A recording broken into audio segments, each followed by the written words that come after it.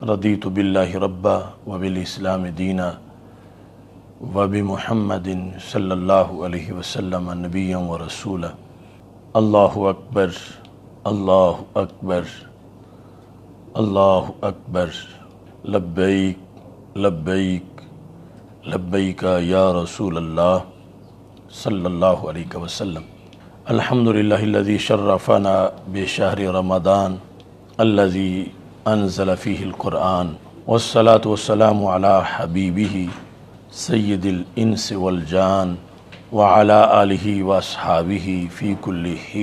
आन अम्मा बादु फ़ाऊज़ु बिल्लाहि मिनश शैतानिर रजीम बिस्मिल्लाहिर रहमानिर रहीम इन्नमा युरीदुल्लाहु लियुज़हिबा अन्कुम रिस अहलल बैत व युताहिरकुम ततहीरा सदक़ल्लाहुल व सदक़ रसूलुहुन नबीयुल करीमुल अमीन। व मलाइकतहु नबी। या अय्युहल्लज़ीना आमनू सल्लु अलैहि वसल्लिमु तस्लीमा। अस्सलातु वस्सलामु या सय्यदी या रसूल अल्लाह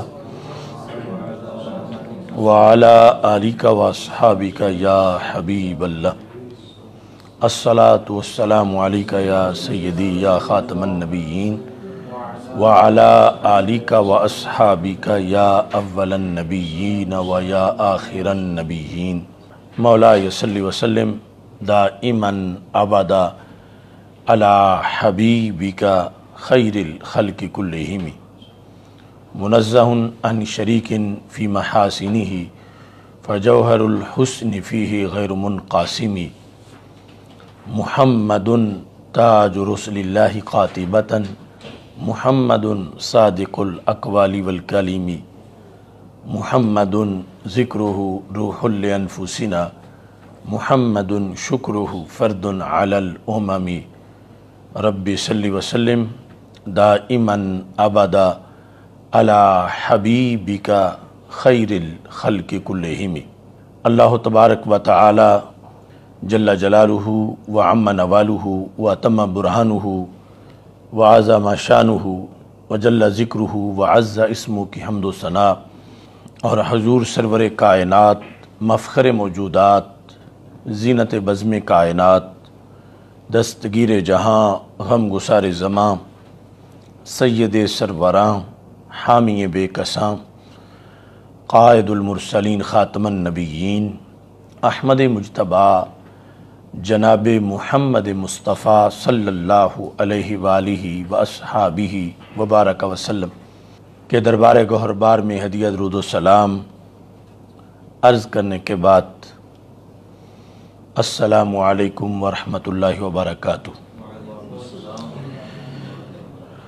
हाज़रीन, नाजरीन सामीन रबाल के फ़ज़ल और तोफ़ी से माह रमदानमबारक जो इस उम्मत के लिए क़्यामत तक रबाल का एक ख़ास तोहफ़ा है।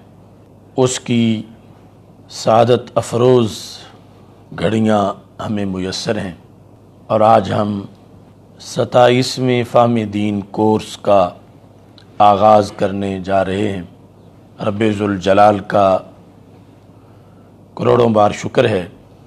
कि आज से तकरीबन सताईस साल पहले हमने गोजरावाला की सरज़मीन से फ़ाहम दीन की एक तहरीक का आगाज़ किया और ये उनवान आज ज़ुबान ज़द खल्क है। पाकिस्तान में और बैरून मुल्क फ़ाहम दीन कोर्सेज़ अल्लाह के फ़ज़ल से सैकड़ों, हज़ारों की तादाद में उलमा मुबलगिन और अहल सुन्नत व जमात के ज़िम्मेदारान की तरफ़ से इनका मुख्तलिफ़ तरीक़ों से इनका किया जा रहा है। बंदा नाचीज़ के फ़ामदीन कोर्सेज़ ग्यारह जिल्दों में सिरात मुस्तकीम पब्लिकेशंस की तरफ़ से छप चुके हैं और एक रिकॉर्ड उनकी मांग और पूरी दुनिया में मकबूलियत अल्लाह ताला के फ़ज़ल करम से, इन किताबी फ़ाहमदीन कोर्सेज़ को हासिल हुई है। और अभी मज़ीद इन मंजर आम पे आएँगी। आज हम फ़ाहमदीन कोर्स जो सताईसवा सालाना फ़ाहमदीन कोर्स है, उसका आगाज़ कर रहे हैं। तमाम हजरात जिस वक़्त हमारे साथ बजरिया इंटरनेट शरीक हैं और जो यहाँ हाजिर हैं, सब मेरे साथ मिल के बिस्मिल्लाह के कलिमात और अफ्ताही दुआ के कलिमात पढ़ें। बिस्मिल्लाहिर्रहमानिर्रहीम। सल्लल्लाहु अला हबीबिही।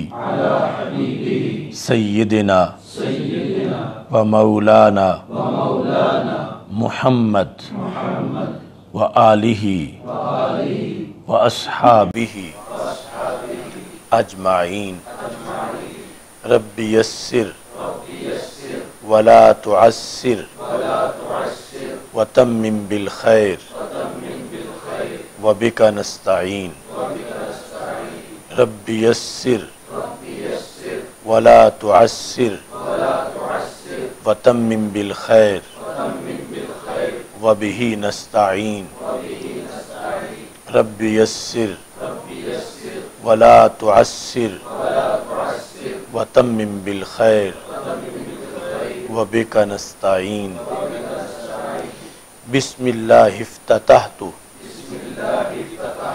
व अलल्लाहि तवक्कलतु बिस्मिल्लाहिफ्ततहतु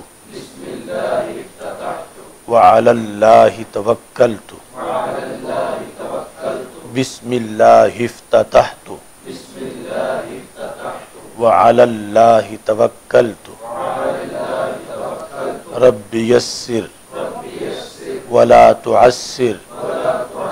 व तम्मिम बिल खैर व बिका सल्लल्लाहु अला हबीबिही। सैयदना व मौलाना मुहम्मद व आलिही व असहाबिही। अजमाइन फामदीन कोर्सेज़ का माह रमदान मुबारक के साथ एक खसूसी ताल्लुक़ है। इसी वजह से इन कोर्सेज़ को ख़ास बरक़ात मैसर हैं। क्योंकि रमदान मुबारक वो मुक़दस महीना है जिसमें कुरान मजीद को नाजिल किया गया। तो नज़ुल कुरान की वजह से इस महीने के अंदर मजामी कुरान को समझना वो बहुत आसान है और फिर इस पर अमल करना, अमल की नीयत करना और इसके ज़ेर साया पूरा साल बसर करना, ये एक मुजरब वजीफ़ा है। इंसानी रूहानी तरक्की के लिहाज से, चूँकि कुरान मजीद, बुरहान रशीद रबाल ने नाजिल किया और रसूल पाक सल्लल्लाहु अलैहि वसल्लम से ये कहा लितुबैन लन्नास कि हमने आपको ये कुरान दिया ताकि आप लोगों के सामने इसका बयान करें। इसके मफाहिम मजामी को बयान करें। और नबी अकरम नूर मुजस्म शफ़ी मुज़म सल्लल्लाहु अलैहि वसल्लम ने सहाबा किराम रदी अल्लाह तम को सबसे पहले कुरान की तालीम दी। अल्लाह की तरफ़ से ये था, इज़ा करना फ़तब क़ुरान सुम्मा इन्ना अलैना बयाना। कि ए महबूब सल्लल्लाहु अलैहि वसल्लम, जब हम पढ़ते हैं तो आप उस किरात की पैरवी करें। फिर हमारे ज़िम्मा करम पर है बयान कुरान। तो रसूल पाक सल्लल्लाहु अलैहि वसल्लम अगरचे ख़ुद भी अरबी ज़ुबान में वो महारत रखते थे जो और किसी को मैसर नहीं, लेकिन इसके बावजूद रबाल ने आपके लिए कुरान बयान किया, जो नज़ुल कुरान के अलावा एक अलहदा सेटअप है। और फिर सहाबा कराम रदी अल्लाह तुम अगरचे उनकी भी मादरी ज़ुबान अरबी थी, लेकिन रसूल पाक सल्लल्लाहु अलैहि वसल्लम ने सहाबा कराम रदी अल्लाह तुम के सामने फिर कुरान को बयान किया। इस बुनियाद पर बयान कुरान का ये सिलसिला शुरू से मुतवारस और मुतवातर आ रहा है और रमज़ानमबारक के साथ इसका खसूसी तौर पर ताल्लुक़ है। और नबी अकरम सल्लल्लाहु अलैहि वसल्लम जब रमज़ानमबारक में कुरान की तिलावत फरमाते थे और जबरील सलाम से दौर करते थे तो बुखारी शरीफ में हदीस है कि नबी अकरम सल्लल्लाहु अलैहि वसल्लम की तबीयत मुबारक उस वक़्त हवाओं से भी ज़्यादा सखावत करने वाली होती थी। अगरचे आप वैसे ही इस कदर सखी हैं कि बुखारी शरीफ की हदीस है कि नबी अकरम सल्लल्लाहु अलैहि वसल्लम ने रबाल के बारे में ये इरशाद फरमाया कि रबाल सबसे ज़्यादा जूद करने वाला है। और अल्लाह के बाद नबी अकरम सल्लल्लाहु अलैहि वसल्लम फरमाते हैं कि सबसे ज़्यादा मैं जूद करने वाला हूँ। तो इस बुनियाद पर रमज़ान के अलावा भी नबी अकरम सल्लल्लाहु अलैहि वसल्लम के जूद का कोई किनारा नहीं था। हमारी सोच के लिहाज से, लेकिन रमज़ान में मज़ीद उस जूद के अंदर तरक्की आ जाती थी। बुखारी शरीफ में है, सरकार फरमाती, अल्लाह अजवाद जूदा। सबसे बढ़ के जूद रबाल का है। सुम आना अजवाद बनी आदम। और अल्लाह के बाद रबाल के बाद, बनी आदम नस्ल इंसानी में सबसे ज़्यादा जूद मेरा है। व अजवद मिम्बादी राजुल आलमन फ़ना शराहू मेरे बाद, यानी मकाम नबूवत के बाद, सबसे ज़्यादा जूद उस शख्स का है कि जिसने कुरान, सुन्नत का इल्म हासिल किया और फिर इस इल्म को सारी ज़िंदगी आगे लोगों तक पहुँचाया। इस बुनियाद पर नबी अकरम नूर मुजस्म शफ़ी मुज़म सल्लल्लाहु अलैहि वसल्लम ने इल्म कुरान और जूद को आपस में मिला दिया और ये वाज कर दिया कि दुनिया का कोई बादशाह, कोई हातम ताई, कोई बड़े से बड़ा नवाब लोगों को वो कुछ अता नहीं कर सकता। जो कि दीन का एक हकीकी मुबलग लोगों को अता कर सकता है। रसूल पाक सल्लल्लाहु अलैहि वसल्लम का तो मकाम मरतबा वराउल वरा है, लेकिन आपने अपने बाद फरमा, व अजवादो मिम्बादी राजुल आलमन फ़ना शराहू कि मेरे बाद सबसे बड़ा जूद वाला वो है, आलम फ़ना शराहू कि जिसने कुरान सुन्नत का इल्म हासिल किया और फिर कुरान सुन्नत के इल्म को आगे तकसीम किया। तो इस बुनियाद पर कुरान मजीद बुरहान रशीद का पैगाम नस्ल इंसानी तक पहुँचाना, ये इंसानी माशरे की सबसे बड़ी ज़रूरत को पूरा करना है। आज इस वक्त कैटागरीज बनती हैं कि कौन मुफीद शहरी है?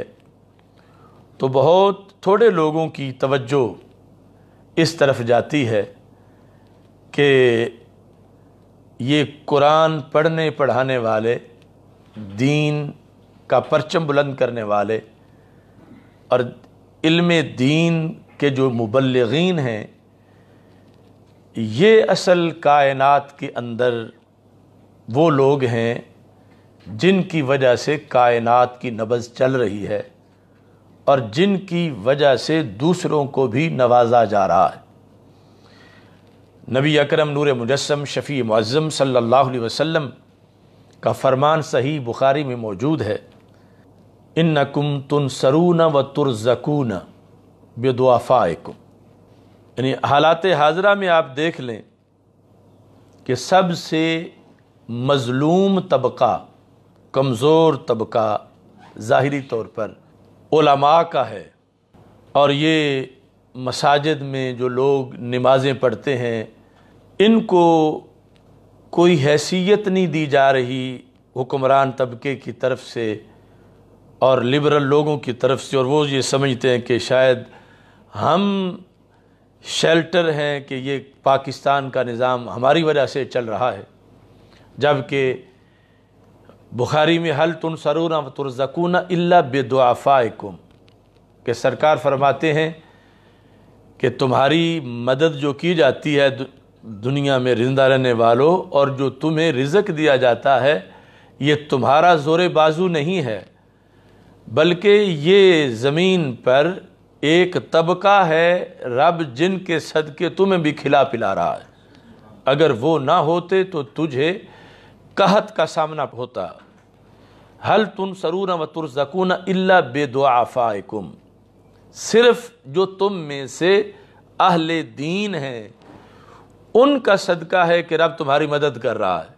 उनकी वजह से रब जलाल तुम्हें नवाज़ रहा है। आज टेक्नोलॉजी तो अमेरिका के पास ज़्यादा है और इसबाब ज़ाहरी दौलत ये बरतानिया, फ्रांस, इटली, अमेरिका, उनके पास ज़्यादा है। मगर जब कोरोना वायरस का हमला हुआ तो पाकिस्तान के अंदर, उन ममालिक के मुकाबले में, इस वायरस की वजह से जो नुकसान हुआ, माजल्ला, या जो भी फैलाव हुआ तो वो उनके मुकाबले में बिल्कुल थोड़ा सा है। तो ये किस वजह से है? टेक्नोलॉजी तो वहाँ तेज़ है इसबाब वहाँ ज़्यादा हैं।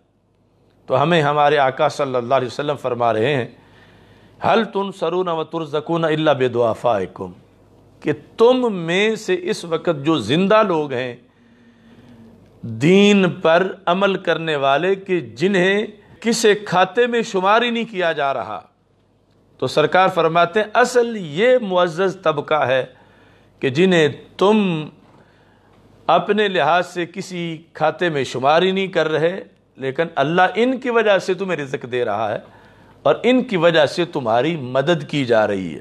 तुन सरून वतुरजकून अल्ला बेदुआफ़ाकुम तो हमारे माशरे की जो कजी है, उसको सही करने के लिहाज से इस हदीस शरीफ को भी जो बार बार स्याह में आई है, हमें आज पेश नज़र रखना चाहिए।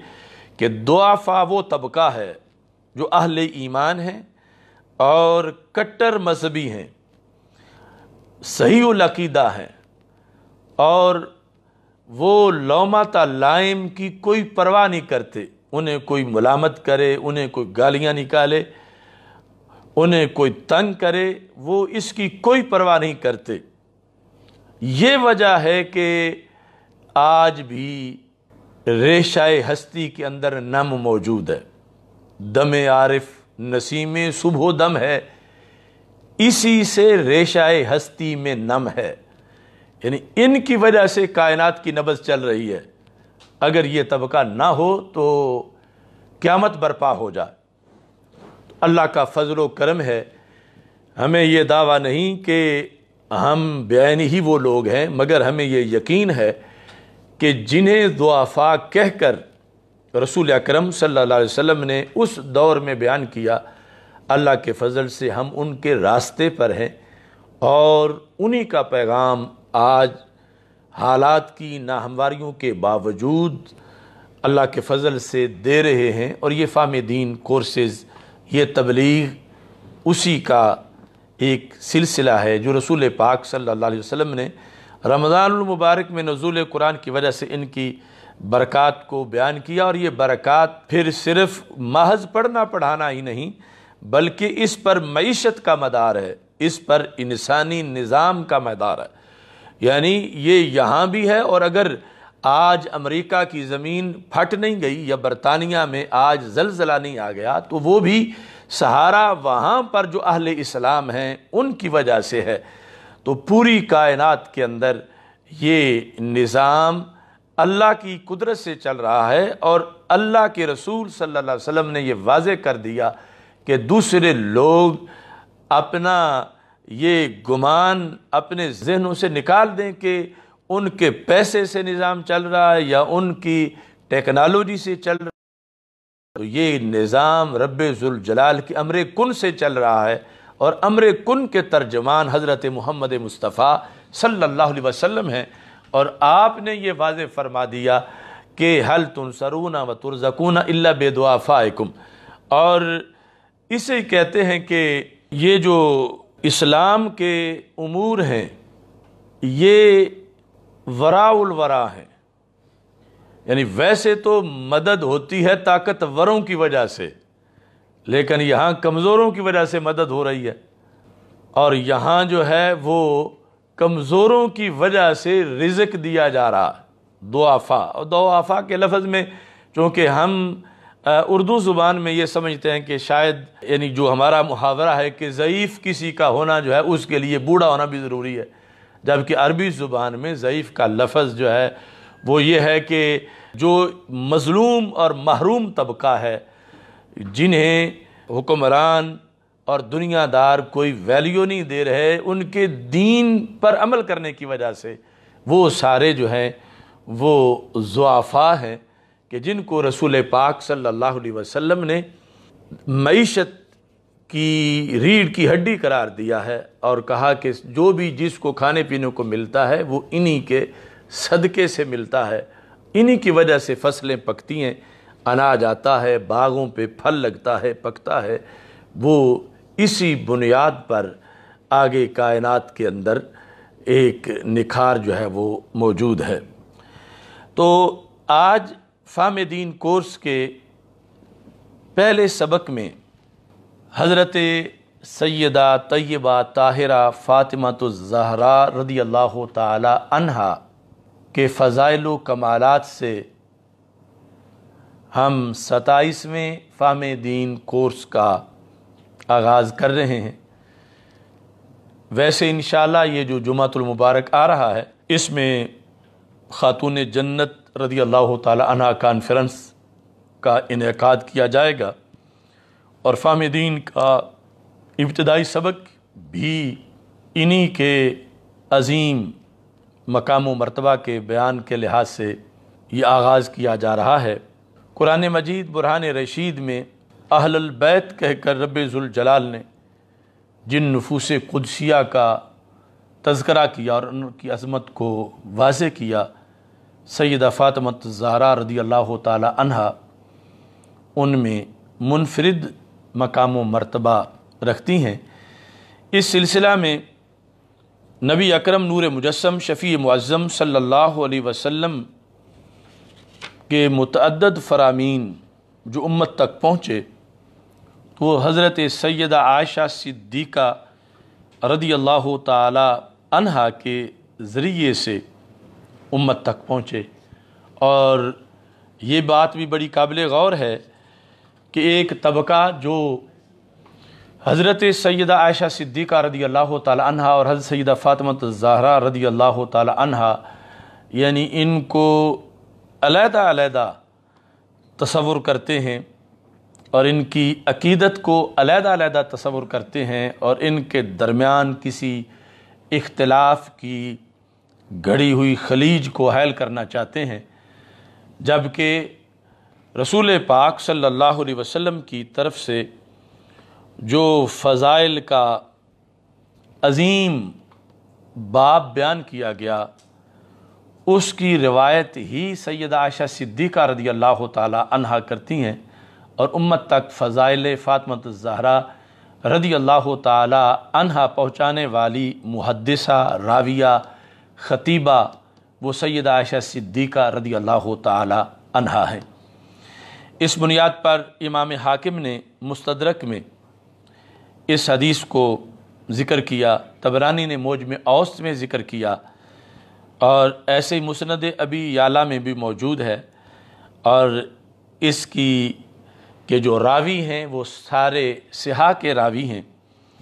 हज़रत आयशा सिद्दीक़ा रदी अल्लाह तहा आप इरशाद फरमाती हैं और ये उनका अपना तबसरा जो है, यकीनन रसूल पाक सल्लल्लाहु अलैहि वसल्लम की उन अहादीस की वजह से जो दूसरे मकाम पर उन्होंने मरफून उनको ज़िक्र भी किया। आप फरमाती हैं, मा रई तो अफ़दला मिन फ़ातिमाता गैर अबीहा।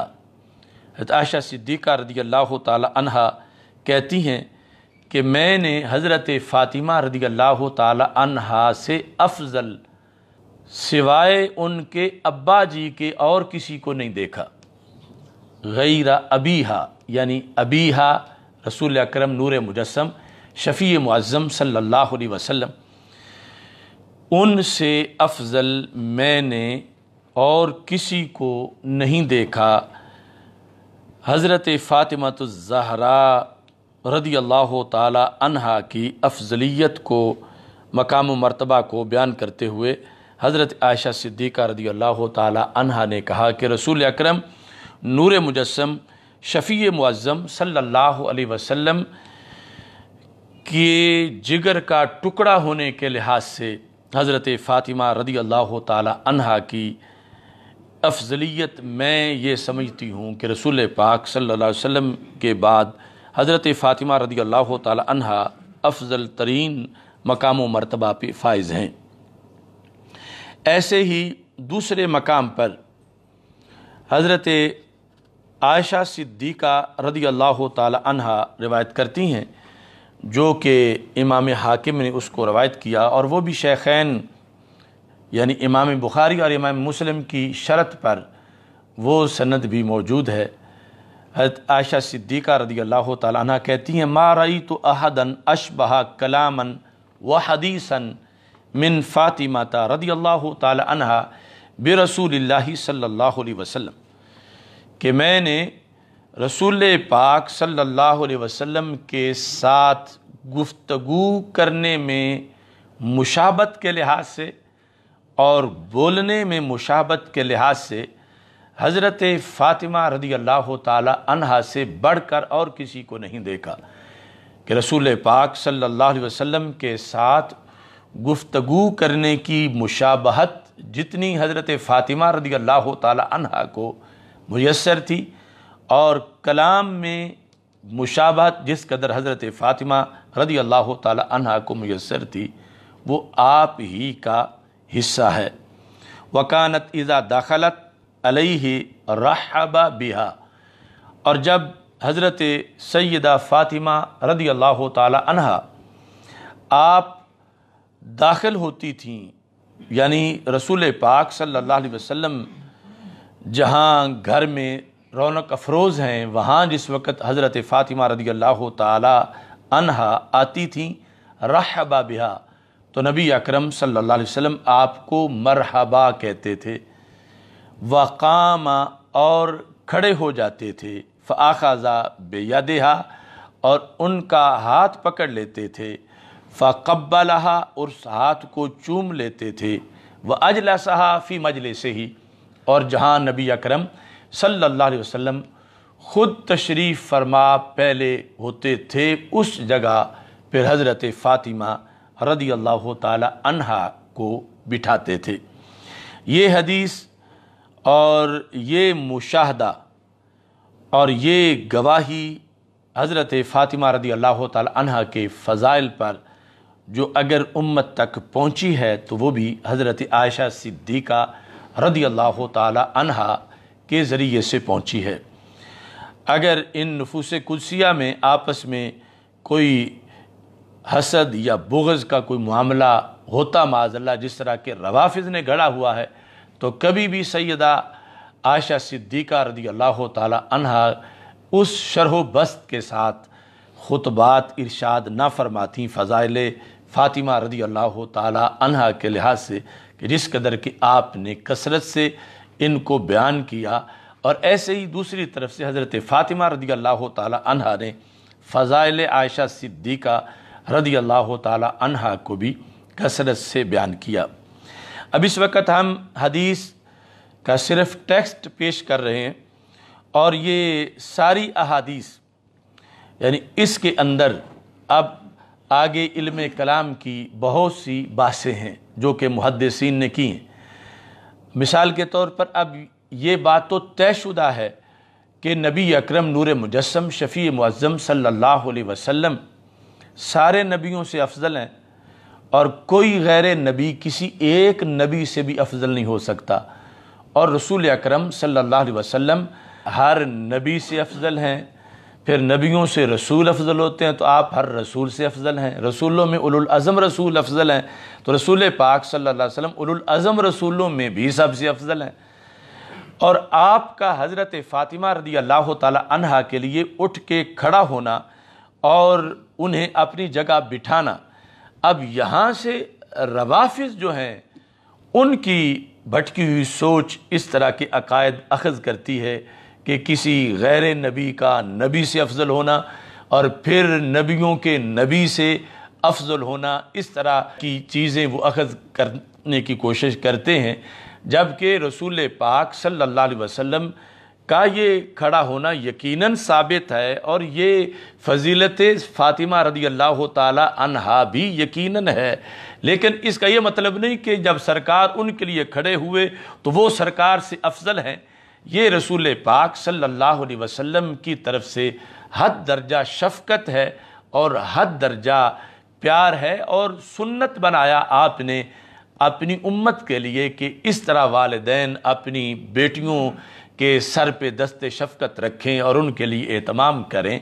और ये सारा उसका एक हिस्सा है। तो इस बुनियाद पर जिस तरह पहली हदीस जो है वो बयान की, अब उसमें उम्मत का ये इत्तेफाकी अकीदा है कि अम्बिया के बाद इस उम्मत में फजीलत सबसे बढ़कर हज़रत सैदना सिद्दीक अकबर रदी अल्लाह तहो की है।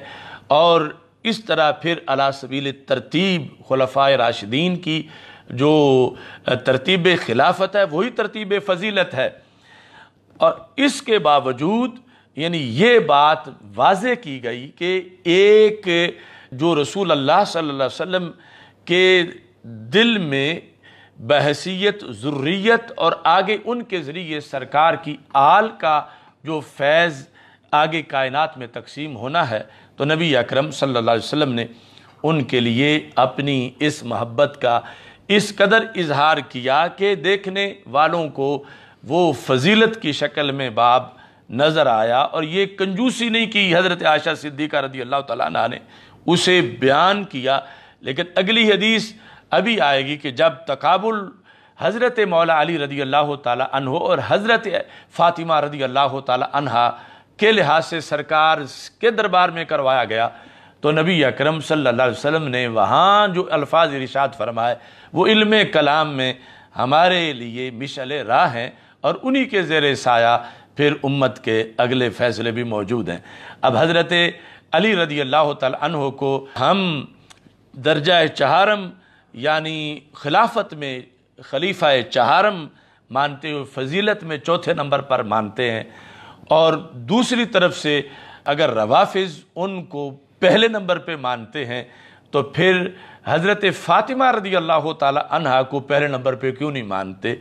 उन पर हज़रत मौला अली रदी अल्लाह तु को किस लिहाज से फजीलत देते हैं, जबकि यहाँ ताशा सिद्दीक़ा रदी अल्लाह तला फरमा रही हैं कि मैंने सिवाय उनके अब्बा जी के और किसी को उनसे अफजल नहीं देखा। हज़रत फ़ातिमा रदी अल्लाह तला की फजीलत को बयान करते हुए। तो इससे ये पता चलता है कि नबी अकरम सल्लल्लाहु अलैहि वसल्लम की तरफ़ से वजूह फ़जीलत कई थे और अलल इतलाक जो अफजलियत है, वो हज़रत सिद्दीक अकबर रदी अल्लाह तहो की है और उसके अलावा बाज़ वज़ू के लिहाज से जो फजीलत का अहतमाम है, वो रसूल पाक अलैहि वसल्लम ने मुख्तलिफ़ मौाक़े पर मुख्तलिफ़ शख्सियात के लिए किया है। इसी सिलसिला में वो हदीस में अभी आपके सामने बयान करता हूँ कि जब नबी अकरम नूर मुजस्म शफ़ी मुज़म सल्लल्लाहु अलैहि वसल्लम के सामने हज़रत फ़ातिमा रदी अल्लाह तहा ने ख़ुद ही ये सवाल रखा और आपने उसका जवाब दिया। उससे पहले हज़रत आशा सिद्दीक़ा रदी अल्लाह तहा से एक दूसरी हदीस है जो जाम तिरमजी में मौजूद है। उसमें हज़रत जुमैय बिन उमैर, वो कहते हैं दखल तो मामती अलाशता रदी अल्लाह तहा कि मैं अपनी फूफी के हमरा हज़रत आयशा सिद्दीक़ा रदी अल्लाह तहा के पास गया, यानी बचपन में फसोलत तो हज़रत आयशा सिद्दीक़ा रदी अल्लाह तहा से सवाल किया गया अयुन्नासी काना अहब्बा इला रसूल सल्लल्लाहु अलैहि के लोगों में से रसूल अल्लाह सल्लल्लाहु अलैहि के करीब, सरकार के हाँ सबसे महबूबियत के लिहाज से, सबसे पहले नंबर पर मकाम किसका था? अहब्बा इला रसूल सल्लल्लाहु अलैहि वसल्लम। ये सवाल हज़रत आयशा सिद्दीक़ा रदी अल्लाह तहा से किया गया कि नबी अकरम सल्लल्लाहु अलैहि वसल्लम के सबसे बड़े महबूब कौन थे? महबूबियत के दर्जे पर पहले नंबर पर कौन फायज थे? ये हज़रत आयशा सिद्दीक़ा रदी अल्लाह तहा से पूछा गया। कालत फ़ातिमा तो।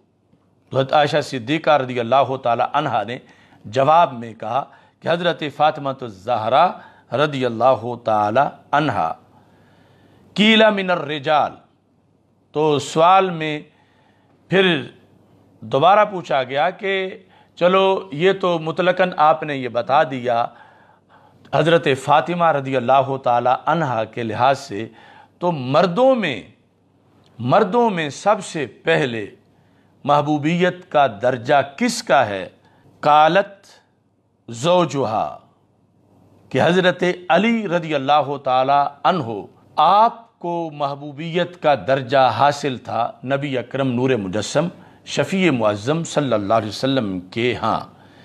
अब ये तशरी जो उम्मिन आयशा सिद्दीक़ा रदी अल्लाह तहा अपनी महफ़ल में, अपने घर में अपनी ज़ाहरी हयात के अंदर कर रही हैं और रसूल पाक सल्लल्लाहु अलैहि वसल्लम ने यह फरमाया था कि खुजू शतरा दीन को मिनहाजी हो मेरा अपने दीन का आधा हिस्सा ऐसे हाबा आयशा सिद्दीक़ा रदी अल्लाह तहा से हासिल करना।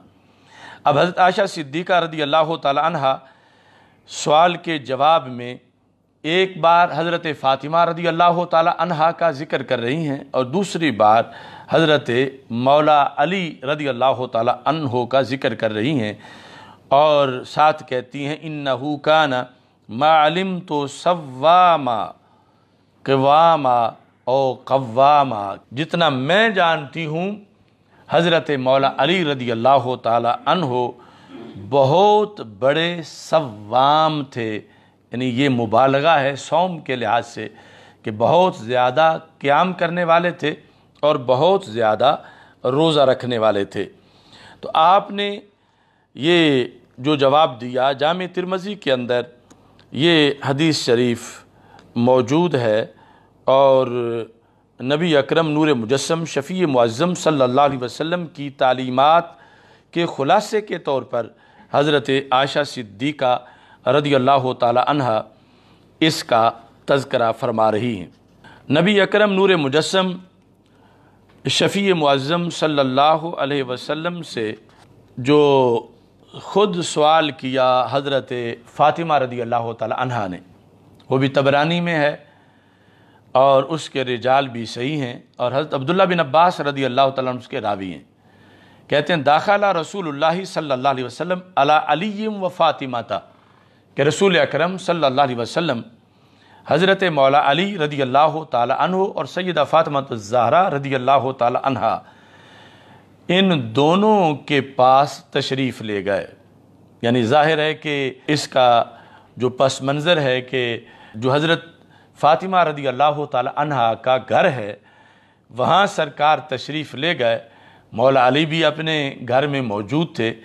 वहुमा यद हकान और दोनों यानी हज़रत मौला अली और हज़रत सईदा फ़ातिमा रदी अल्लाह तहुमा मुस्करा रहे थे।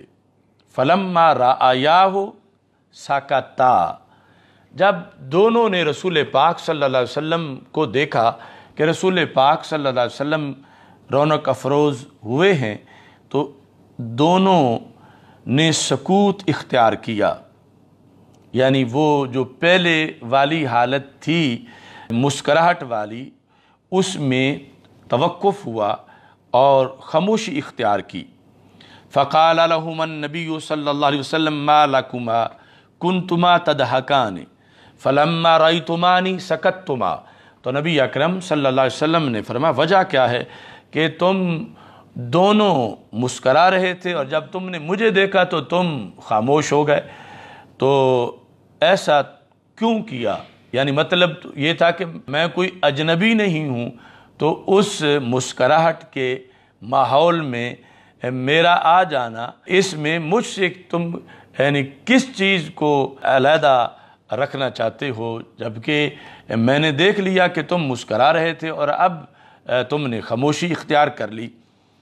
हालाँकि इस सवाल के अंदर भी सरकार जानते हैं कि सबब क्या है, लेकिन उन्हीं से इजहार करवा के एक बहुत बड़ा अहम मसला उम्मत के सामने आपने वाजे कर दिया, जो इल्म कलाम के सैकड़ों सवालों का जवाब है। फबादरत फ़ातिमा तो। तो अब दोनों में से सरकार ने तो दोनों से पूछा कि क्यों तुमने ऐसे किया कि तुम जो मुस्करा रहे थे तो मुस्कराते रहते। अब मेरे आने पर तुमने मुस्कराहट ख़त्म कर दी और तुमने सकूत इख्तियार कर लिया। तो ऐसा क्यों किया? सवाल दोनों से था। लेकिन हज़रत सईदा फ़ातिमा रदी अल्लाह तहा सबकत ले गई जवाब देने में। फ़ाबादरत फ़ातिमा तो रदी अल्लाह तहा आप आगे बढ़ी, यानी जवाब देने में जल्दी की, फ़कालत बे अभी अनता या रसूल अल्लाह सल्लल्लाहु अलैहि वसल्लम। ये भी मुनफरद अंदाज है सरकार दो आलम अलैहि वसल्लम से गुफ्तु का, जो हज़रत फ़ातिमा रदी अल्लाह तहा की इम्तियाज़ी शान है। कहने लगी, या रसूल अल्लाह सल्लल्लाहु अलैहि वसल्लम, मैं और अली, हम एक बात में बहस कर रहे थे और आप तशरीफ़ ले आए हो। ये कह रहे थे, काला हाजा आना अहब्बो इला रसूल अलैहि वसल्लम मिन के। कि मौला अली जो है, ये मुझे कह रहे थे कि ए फ़ातिमा, तुम रसूल अल्लाह अलैहि वसल्लम को इतनी पसंद नहीं जितना मैं पसंद हूँ। अहब का लफज बोला और वो, यानी मोहब्बत के साथ तर्जमा करेंगे कि जितनी मुझे महबूबियत हासिल है, जिस कदर मैं प्यारा हूँ रसूल अकरम सल्लल्लाहु वसल्लम का, इतनी तुम नहीं हो। रसूल पाक सल्लल्लाहु अलैहि वसल्लम जितनी मुझसे मेहरबानी करते हैं, इतनी आपसे नहीं करते। जितनी सरकार की शफकत मुझ पर है, इतनी आप पर नहीं। जितनी सरकार की मोहब्बत मुझसे है, इतनी आपसे नहीं। ये अली मुझे इस तरह कह रहे थे का लहाजा आना अहब्बो इला रसूल वसल्लम मिन के। अब यहाँ पर तकाबुल इन दो ज़ातों में है, मिन के तुम्हारे मुकाबले में। यानी हज़रत मौला अली रदी अल्लाह तु का दावा था कि मैं रसूल अल्लाह सल्लल्लाहु अलैहि वसल्लम का तुम्हारे मुकाबले में बड़ा महबूब हूँ। मुझसे रसूल अल्लाह सल्लल्लाहु अलैहि वसल्लम ज़्यादा मोहब्बत करते हैं। कहा, महबूब, ये इस तरह कह रहे थे। तो कुल तो मैंने कहा, बला, क्यों नहीं? आना अहब्बो इला रसूल अलैहि वसल्लम मिन का तो मैंने कहा, अली, नहीं मैं रसूल अल्लाह सल्लल्लाहु अलैहि वसल्लम के यहाँ तुझ से ज़्यादा पसंदीदा हूँ, यानी ज़्यादा अहब हूँ। मुझसे सरकार तुम्हारे मुकाबले में ज़्यादा मोहब्बत करते हैं और मुझ पर सरकार दो आलम सल्लल्लाहु अलैहि वसल्लम की मेहरबानियाँ तुम्हारे मुकाबले में ज़्यादा हैं। अब ये हमारी बहस चल रही थी कि सरकार आप तशरीफ़ ले आए हो तो अब अच्छा हुआ आपने पूछ लिया कि क्या बात चल रही थी और हम फिर खामोश क्यों हो गए? तो बात ये चल रही थी, इनका दावा है कि ये अहब हैं। मेरा दावा है कि मैं अहब हूँ, यानी सुपरलेटिव डिग्री, महबूबियत के लिहाज से। इनका दावा है कि मैं रसूल अल्लाह सल्लल्लाहु अलैहि वसल्लम का ज़्यादा महबूब हूँ। तुम्हारे मुकाबले में मैं कहती हूँ, मैं रसूल अल्लाह सल्लल्लाहु अलैहि वसल्लम की ज़्यादा प्यारी हूँ, सरकार मुझसे ज़्यादा मोहब्बत करते हैं। तो इस बुनियाद पर हमारी आपस में गुफ्तु चल रही थी और आप तशरीफ़ ले आए हो। अब वो पिछली हदीसें जो थीं, जिनमें आयशा सिद्दीक़ा रदी अल्लाह तहा ने जो जवाब दिया, जब आपसे पूछा गया कि रसूल अल्लाह अलैहि वसल्लम के हाँ सबसे प्यारे कौन हैं? तो और एक में अफजलियत के लिहाज से भी पूछा गया, हज़रत फ़ातिमा रदी अल्लाह तहा का नाम लिया और फिर हज़रत मौला अली रदी अल्लाह तु का नाम लिया। तो अब उन सारी चीज़ों को समझने के लिहाज से और जो अहल सुन्नत व जमात का नज़रिया अफजलियत है, उसको समझने के लिहाज से यहाँ रसूल अल्लाह सल्लल्लाहु अलैहि वसल्लम के ये अल्फाज एक बहुत ही ज़्यादा अहमियत के हामिल हैं। अब इन दोनों के दरमियान जो मुकाबला जारी था, इसका हल कैसे हुआ? और फिर उसी के ज़रिए आगे जाकर मुतलकन जो अफजलियत या अहबियत है, उसका भी मसला हल होगा।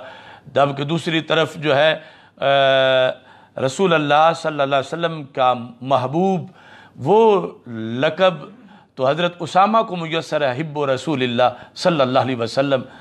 और इस तरह और भी कई इसके मौाक़े हैं।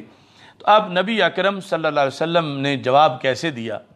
फ़तबसमा रसूल सल्लल्लाहु अलैहि वसल्लम। सरकार इस पर मुस्करा पड़े कि हज़रत फ़ातिमा रदी अल्लाह तहा ने जो सवाल रख दिया सामने, अब ज़ाहिर है कि इसका जवाब सरकार ही दे सकते थे और कोई यानी इस लेवल पर जवाब नहीं दे सकता था और फिर इसी जवाब के ज़िमन में आगे फिर उमुलमोमिन के अहद में उनसे जो सवाल किया गया तो उन्होंने जवाब दिया और इसी पर ही फिर आगे जो अलल इतलाक अफजलियत है हज़रत सिद्दीक अकबर रदी अल्लाह तु की, उसको भी समझा जा सकता है। तो नबी अकरम सल्लल्लाहु अलैहि वसल्लम ने मोहब्बत की दो किस्में बनाई और दोनों किस्मों के लिहाज से दोनों को ही पहला नंबर अता कर दिया। मोहब्बत की दो किस्में बनाकर आपने फरमाया बुनैया ला के रिक्तुल वलद व अली आज़ अलैया मिन के दोनों को ही रसूल अकरम सल्लल्लाहु अलैहि वसल्लम ने नवाजा और फरमा या बुनैया, ये तस्वीर का सीगा प्यार के लिए था। मेरी बछड़ी हज़रत फ़ातिमा रदी अल्लाह तहा को तस्वीर के सीगे के साथ ज़िक्र किया, इजहार महब्बत के लिए, फरमा ला के रिक्तुल वलद, यानी बहसीत वलद के बहसीत औलाद होने के, जो मेरे दिल में नरमी का जज्बा आपके लिए है, वो अली के लिए नहीं है। लके रिक्तुल वलद वलद के लिहाज से जो रिक्कत है मेरे दिल के अंदर यानी यहाँ मोहब्बत और रिक्कत, इसको मुतरदफ बना के बयान किया। यानी मोहब्बत की जो दो किस्में बनाई या आगे उलमा को जवाब देने का जो तरीका दिया मुख्तलिफ़ दीगर मसाइल के अंदर कि एक है महब्बत बमाना रिक्कत कल्ब, रिक्कतुल वलद, और दूसरी है महब्बत बमाना इज़्ज़त। फरमा जहाँ तक महब्बत बमाना रिक्कतुल वलद है, कि वलद के लिहाज से जो वालिद के दिल में जज्बा महब्बत होता है तो उस लिहाज से पहला नंबर तुम्हारा है कि तुम ज़्यादा अहब हो मुझे मौला अली रदी अल्लाह तु के मुकाबले में। और जहाँ तक व अली आज़ो अलैया मिन के, महब्बत जो इज़्ज़त के माना में है उसके लिहाज से अली रदी अल्लाह तहो का दर्जा तुम्हारे मुकाबले में मेरे नज़दीक बड़ा है। यानी मोहब्बत में दोनों को ही अवलियत हासिल है। दोनों ही मेरे नज़दीक अहब हो, लेकिन किसमें जुदा जुदा हैं? रिक्कत वलद के लिहाज से तुम्हारा पहला नंबर है, उनका नहीं। और मोहब्बत बमाना इज़्ज़त के लिहाज से अली का पहला नंबर है, तुम्हारा नहीं।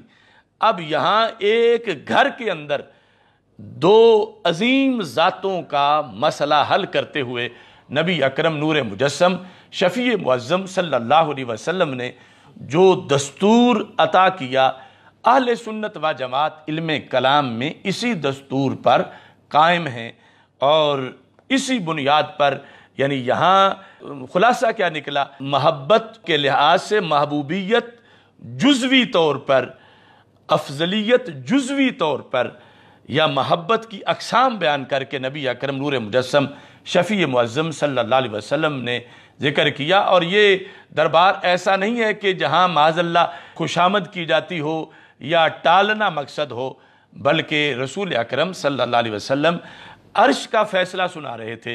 और दो किस्में बयान करके दोनों की जिस जिस हैसियत से अवलियत थी, उसको बयान कर दिया।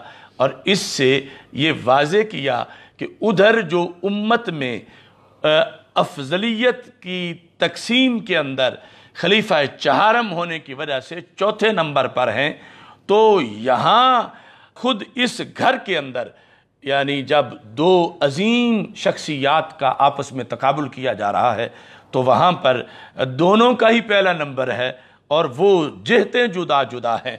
तो इससे जिहाद बनाना और अल इतलाक, अफजलियत जिस पर, इन दोनों की गवाही भी मौजूद है कि हज़रत मौला अली रदी अल्लाह हो भी इस अंदाज में गवाही देते हैं कि जिसने मुझे हज़रत सिद्दीक अकबर रदी अल्लाह तु से अफजल करार दिया, मैं उसको अस्सी कोड़े मारूँगा। अब ये सब कुछ जानते हुए जिस वक्त वो कौल कर रहे हैं तो ज़ाहिर है कि उनके सामने ये हदीस भी है और जिस जहत में यहाँ अफजलियत है, वो भी उनके सामने मौजूद है। तो इस बुनियाद पर अहल सुन्नत व जमात इस नज़रिए पर ये जितनी शानें जो हैं, जिस जिस जहत में बयान की गई, उस मकाम पर उसी अंदाज में उनका तस्करा करते हैं। और ये हकीकत किस कदर वाज है कि हज़रत सैदा आयशा सिद्दीक़ा रदी अल्लाह तहा अपने घर में जबकि ना मौला अली पास हैं, ना सैदा फ़ातिमा तो जहरा रदी अल्लाह तहा पास हैं। लेकिन इसके बावजूद वो उम्मत को एक दरस दे रही हैं और जिस जहत में जितना लाजिम है और ज़रूरी है, उसका तस्करा आला अल्फाज के अंदर हज़रत आयशा सिद्दीक़ा रदी अल्लाह तहा ने शान हज़रत फ़ातिमा रदी अल्लाह तहा के लिहाज से उसको बयान किया। दूसरे मकाम पर ये अल्फाज भी तबरानी के अंदर मौजूद हैं। चूँकि नबी अकरम सल्लल्लाहु अलैहि वसल्लम की चार साहबजादियाँ हैं, सबसे बड़ी साहबजादी सैदा ज़ैनब रदी अल्लाह तहा हैं। उनके बाद हज़रत सैदा रुकैया रदी अल्लाह तहा हैं। उनके बाद हज़रत सैदा उम कुलसूम रदी अल्लाह तहा हैं। और यानी ये जो तरतीब है तरतीब विलादत उसके बाद हज़रत फ़ातिमा सैदा फ़ातिमा रदी अल्लाह तहा हैं। ये चारों ही नबी अकरम सल्लल्लाहु अलैहि वसल्लम की शहजादियाँ हैं और इस पर उम्मत का इजमा है। और यहाँ तक कि रवाफ़ की किताबों में भी ये बात बिल्कुल साबित है और अहल सुन्नत व जमात इन सबको खराज तहसीन पेश करते हैं। सब की अकीदत का परचम लहराए हुए हैं। सब के फ़ज़ाइल के कायल हैं, लेकिन ये बात अहल सुन्नत व जमात के यहाँ भी बिल्कुल तयशुदा है कि हज़रत सैदा फ़ातिमा रदी अल्लाह तहा की नस्बत से नबी अकरम वसल्लम की नस्ल पाक आगे चली और आपके फ़ज़ाइल जो हैं, वो मुनफरद दर्जे के हैं, दीगर शहज़ादियों में भी। और रसूल पाक अलैहि वसल्लम से ये ज़िक्र करते हुए सहाबा कराम रदी अल्लाह तुम ने बारहा, ये का कानत फ़ातिमा तो असगरा वालद रसूल वसल्लम व अहब्बन्ना इलई के सैदा फ़ातिमा रदी अल्लाह तहा रसूल पाक सल्लल्लाहु अलैहि की औलाद में असगर थी, यानी उम्र के लिहाज से छोटी थी, व अहब्बन्ना इलई और चारों शहजादियों में हज़रत फ़ातिमा रदी अल्लाह तहा रसूल पाक सल्लल्लाहु अलैहि वसल्लम के नज़दीक अहब थी, यानी सबसे ज़्यादा प्यारी थी। हज़रत सैदा ज़ैनब, हज़रत सैदा रुकैया, हज़रत सैदा उम कुलसूम रदी अल्लाह तहुन्न वो भी हिमालय अजमत पर हैं। उनसे भी रसूल अल्लाह सल्लल्लाहु अलैहि वसल्लम हद दर्जे की मोहब्बत फरमाते थे। लेकिन इस बात पर सिहाबा गवाह हैं कि हज़रत फ़ातिमा रदी अल्लाह तहा अगरचे उम्र में बाकी से छोटी थी, बाकी शहज़ादियों से, लेकिन अहब्बा हन्ना इलई हज़रत फ़ातिमा रदी अल्लाह तहा उन तीनों के मुकाबले में रसूल पाक सल्लल्लाहु अलैहि वसल्लम के नज़दीक ज़्यादा प्यारी थीं, जिसको बार बार मुख्तलिफ़ सहाबा कराम रदी अल्लाह तम की तरफ़ से ज़िक्र किया गया। अब यहाँ पर सात मुसनद फ़ातिमा रदी अल्लाह तहा से भी एक हदीस शरीफ मैं ज़िक्र करना चाहता हूँ। मुसनद सैदा फ़ातिमा रदी अल्लाह तहा उसमें और उससे पहले कि हज़रत फ़ातिमा रदी अल्लाह तहा के बारे में नबी अकरम सल्लल्लाहु अलैहि वसल्लम ने ये अल्फाज भी इरशाद फरमाए, फ़ातिमा तो बदअतुम मिन्नी। सैदा फ़ातिमा मेरा टुकड़ा है। और यहाँ पर ये इरशाद फरमाया कि अनसाब क़्यामत के दिन मुनक़ हो जाएँगे, सिवाय मेरे नसब के कि ये क़्यामत के दिन भी मुनक़ नहीं होगा।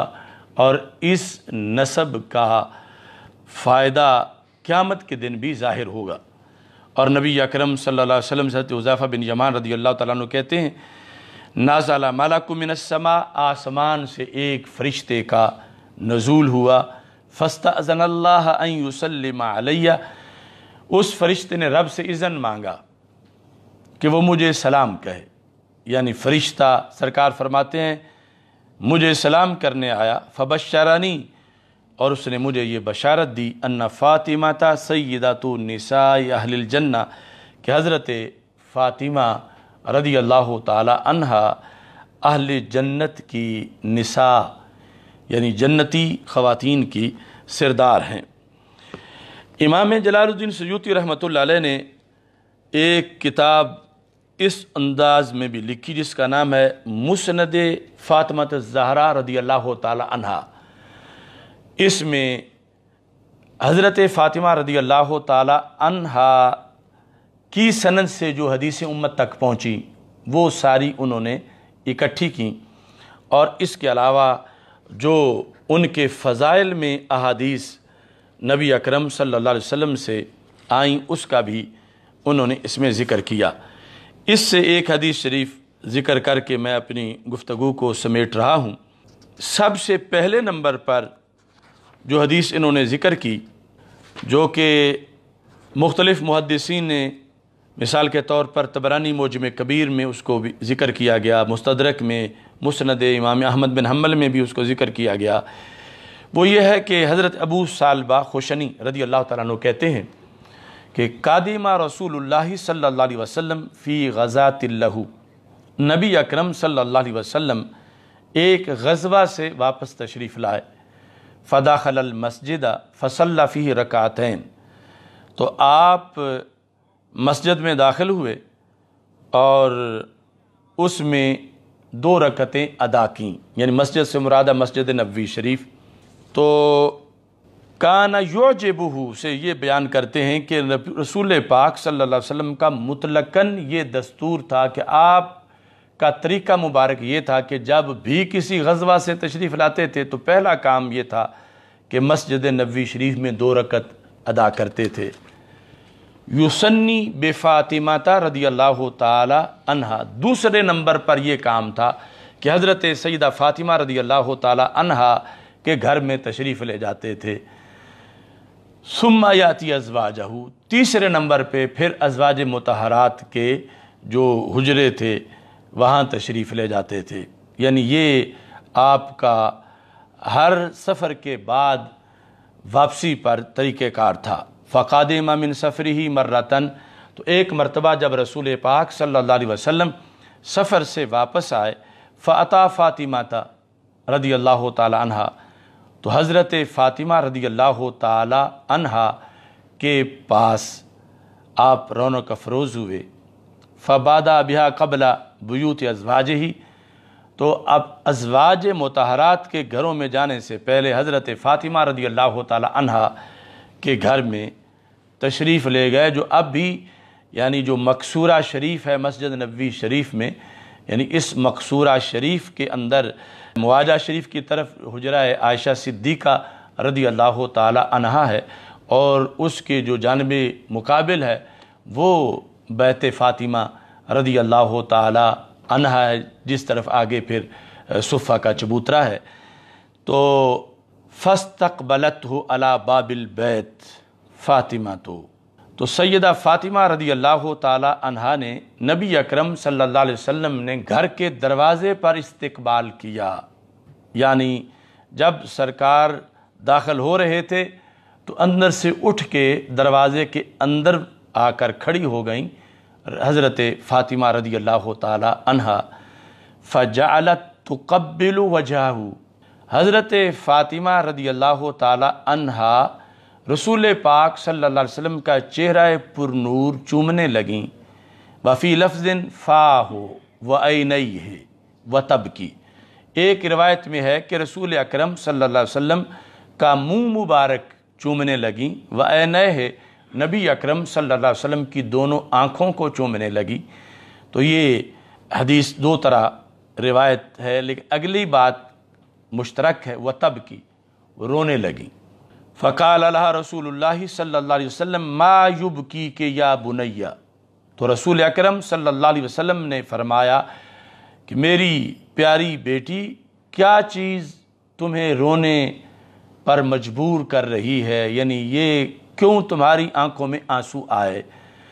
ये जिस तरह रसूल अल्लाह सल्लल्लाहु अलैहि वसल्लम के सवालात का फ़लसफ़ा है, उसी के पेश नज़र यानी ये अदम इल्म की वजह से नहीं था, बल्कि इस बुनियाद पर कि जब कोई रो रहा हो, अगरचे पता हो कि क्यों रो रहा है, लेकिन पूछने में भी उसको बड़ा हौसला हो जाता है कि बड़ी ज़ात ने मुझसे मेरे रोने का सबब पूछा है।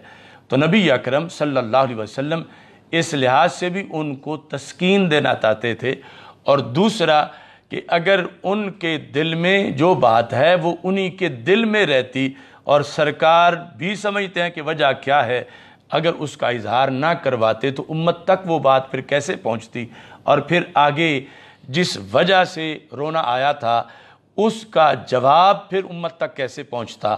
तो इस तरह कई हमतें थीं कि रसूल अक्रम सल्लल्लाहु अलैहि वसल्लम ने ये पूछा कि इसका सबब क्या है? कालत तो हज़रत सैदा फ़ातिमा रदी अल्लाह तहा ने कहा अरा का या रसूल अल्लाह सल्लल्लाहु अलैहि वसल्लम, कद शाहबा का, मैंने ये देखा, यानी ये अब एक गजवा से वापसी पर, रसूल अकरम सल्लल्लाहु अलैहि वसल्लम के चेहरे पर ज़ाहिर है कि लंबे सफ़र की थकावट के असरात भी थे। जिहाद में एक वक़्त गुजारने की वजह से और जो एक फाका और इस तरह की सारी चीज़ें मिली हुई थी, अगरचे जो नूर नबूवत था, उसकी वजह से चेहरा हशाश बशाश पुरनूर ज़रूर था, लेकिन हज़रत फ़ातिमा रदी अल्लाह तहा को महसूस हुआ कि रसूल अकरम अलैहि वसल्लम के चेहरे मुबारक का रंग बदला हुआ है। ये शाहबा का लुघवी माना है।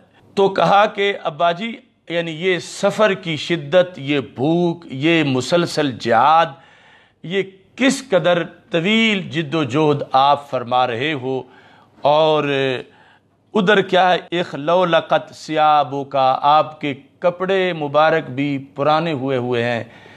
तो इस पर मुझे रोना आया है कि आपने कितनी जिद्दोजहद की इस दीन को फैलाने के लिए कितने जहाद किए, कितने सफ़र किए तो ये कब गालिब आएगा?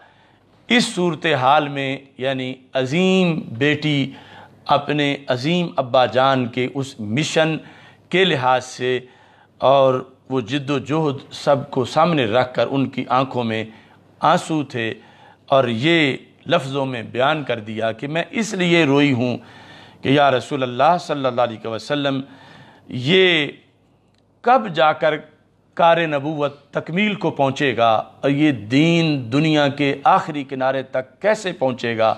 यानी इस कदर आपको इसके लिए मुशक्क़त उठानी पड़ रही है। तो रसूल अकरम अलैहि वसल्लम ने उन्हें जवाब दिया। फ़काल अल्लाह रसूल अलैहि वसल्लम, या फ़ातिमा तो ला तबकी। तो नबी अकरम अलैहि वसल्लम ने फरमाया, ए फ़ातिमा, आप आँसू मत बहाएँ। अब ये वाज होगा कि सवाल क्यों पूछा कि लोगों को सवाल का पता चले और फिर जवाब का पता चले और सवाल के इजहार से पता चले कि हज़रत सैदा फ़ातिमा रदी अल्लाह तहा की सोच कितनी आलमगीर सोच थी, गलबा इस्लाम के लिए उन्हें कितनी तड़प थी और किस तरह उनके मजाज में इस्लाम की फतूहत और इस्लाम का झंडा बुलंद होने के लिहाज से तहरीक थी कि क़्यामत तक जो दुख्तरान इस्लाम हैं, वो ये सोचें कि वो शहज़ादी के कायनात के तख्त व ताज जिनकी गर्द राह में हैं, वो दीन के लिए इस कदर जज्बा रखती हैं और फिर वो पैकर पुरनूर जो अर्श से भी अफजल है, नबी अकरम नूर मुजस्म शफ़ी मुज़म सल्लल्लाहु अलैहि वसल्लम इस दीन के लिए कितनी भूख बर्दाश्त कर रहे हैं फ़क्र इख्तियारी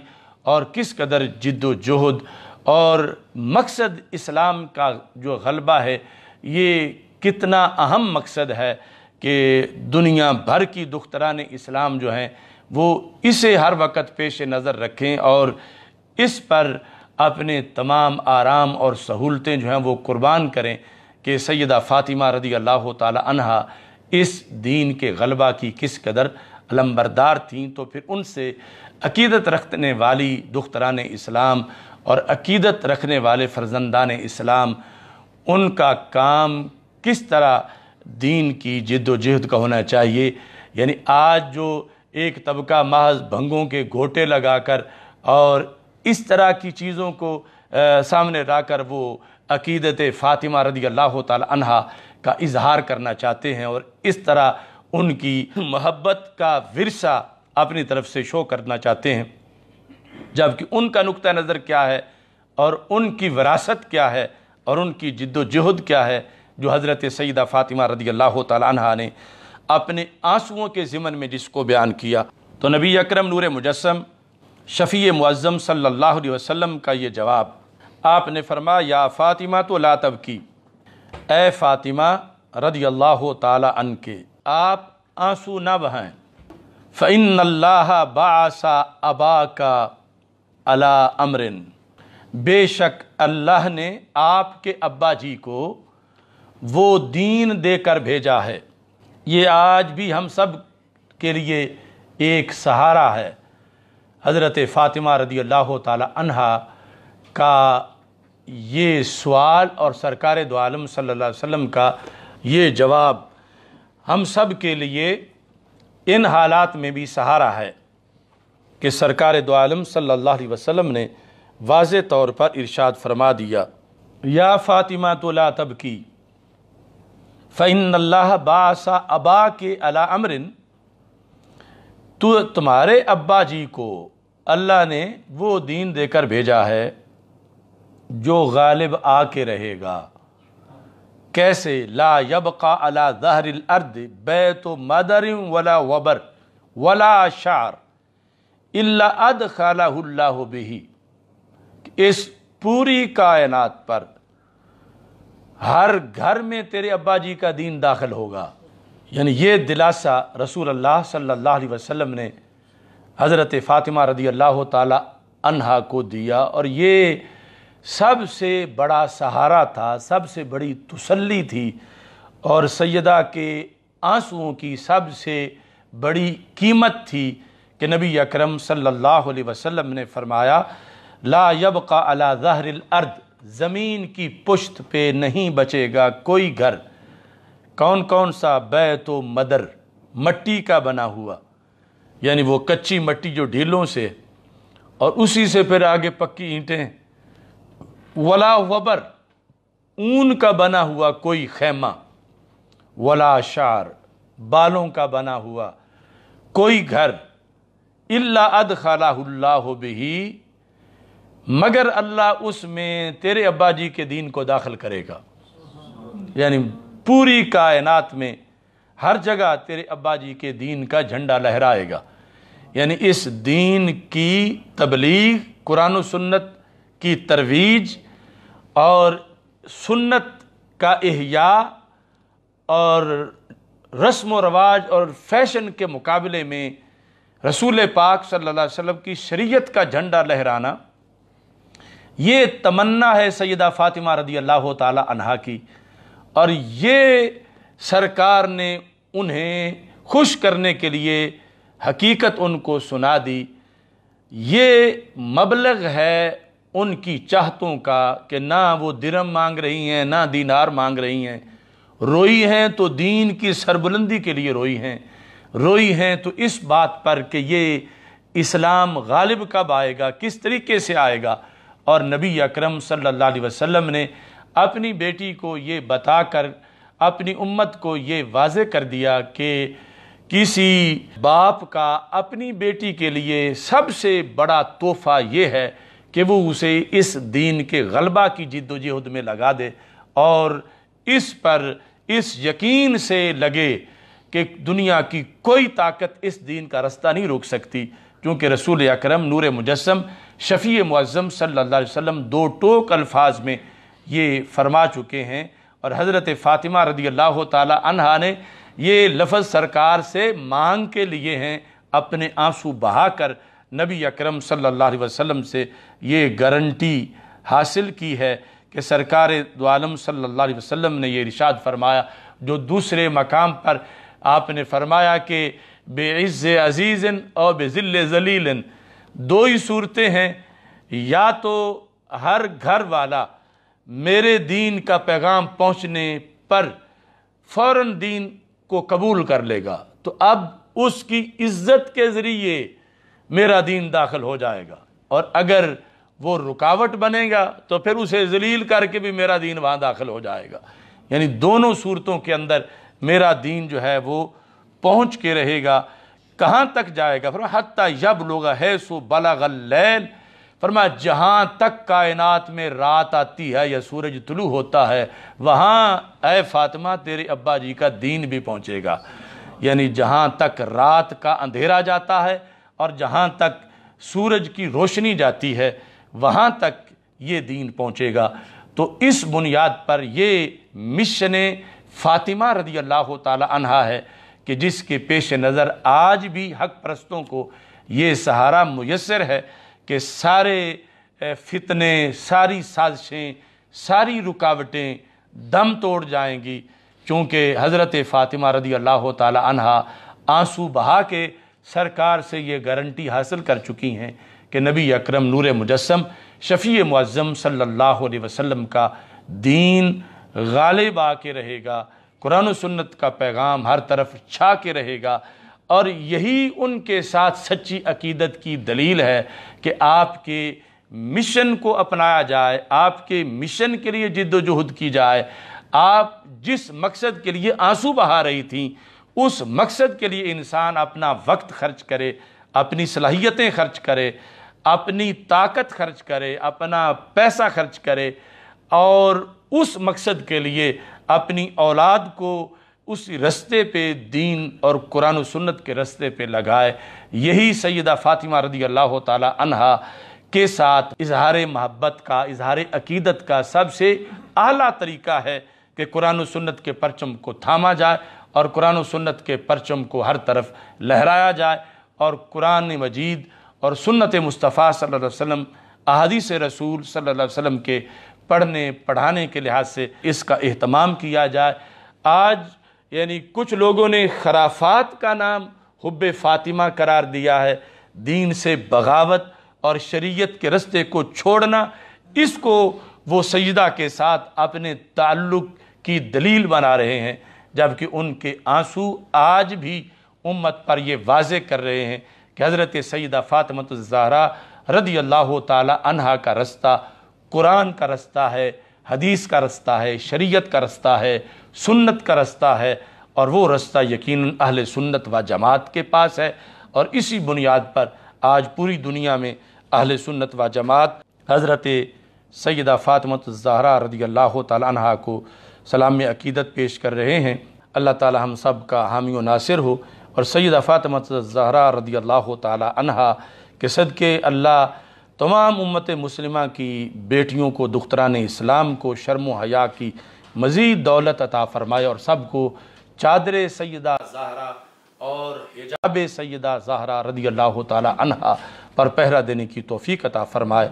व आखिर दावाया अनिलहमदिल्ला अलहमदिल्ला रबालमीन वलाकबतमतकीन वसलात वसलाम रसूल करीम अल्लाफ़ना बिलस्लाम कायमीन वफ़ना बिलस्लाम कायदीन वफ़ना बिलस्लाम राकदीन वला तुशमित बिन अलादासिदीन या कादी अलहाजात हाजातना या शाफ़ी मराद इश्फ़ मरदाना या दाफ़िलबलियात इतफ़ाना शर्रमीन वलफ़ासिकीन खुदाया बहक के बनी फ़ातिमा के बरकौल ईमा कुनी ख़ात्मा अगर दावतम रद कुनी वर कबूल, मनो दस्तो दामाने आल रसूल। ली खमसतन उत्फ़ी ब्या हर्रवबाइल हातिमा। अलमुस्तफ़ा वलमरतज़ा वबनाहुमा वलफ़ातिमा रदी अल्लाह तह वसल ताली हबीबी खैर खल्क़ ही सैदना मौलाना महमद वाली वसबी